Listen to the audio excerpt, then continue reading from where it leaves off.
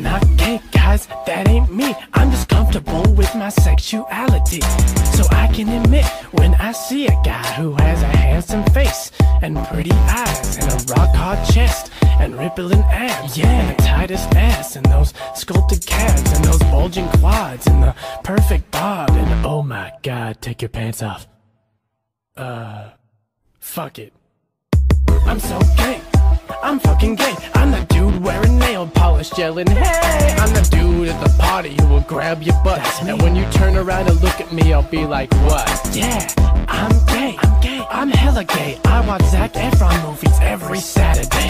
And normal self-expression doesn't suit me either. That's why my degree is in musical theater. I'm so gay, man.